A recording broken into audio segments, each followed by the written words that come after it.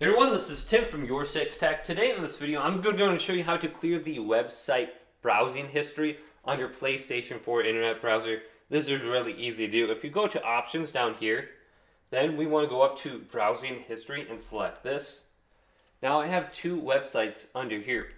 And if I want to clear these out and delete them, I want to press options under this menu. Then I'll have the option to clear my browsing history right here. Then go to OK. Browsing history will be cleared. Let's select this. Now there is no websites displaying in here. So if you went to a website that you didn't want to go ahead and display to other people, you can easily delete everything under there. So hopefully this video did indeed help you out. If did, leave it a big thumbs up and subscribe to my channel down below for more tech up videos coming up next on Your Six Tech.